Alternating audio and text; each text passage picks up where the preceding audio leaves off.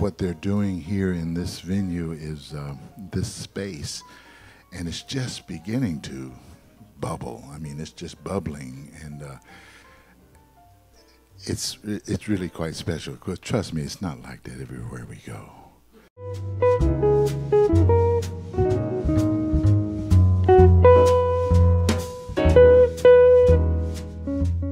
It's really so important to have places like this. There should be one in every city, even really small cities, you know, just a place where this kind of information is passed down and passed, passed on.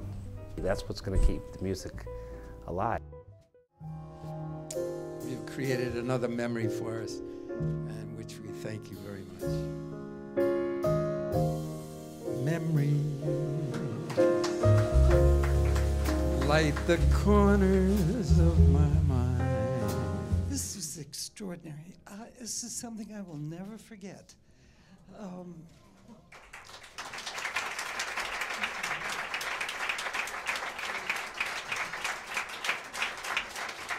somebody, somebody in the green room before used the word oasis.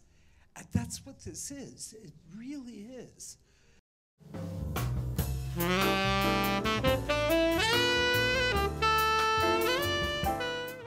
Um, it, there's nothing close. I think again, the, the idea of having this intimate, hands-on, uh, uh, uh, I guess, access to the folks who know this music best and who played it for years, and this sort of network of great musicians.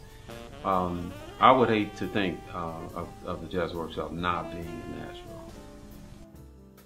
The very thought of you makes my heart